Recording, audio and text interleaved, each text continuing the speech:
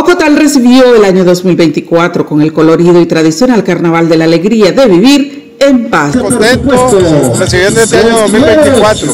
Sabemos que va a ser un año para seguir trabajando para la prosperidad, para la paz, para la tranquilidad de nuestro pueblo. Para la alcaldesa Xiomara Tercero, el año 2024 trae consigo nuevos retos, más proyectos, más programas, más prosperidad, más concordia y ese aire de un año de prosperidad y bendición para un mundo mejor. Los ciudadanos ocotaleanos expresaron sus deseos para este año 2024 y entre otras cosas consideran que Nicaragua debe de continuar por los caminos de la armonía.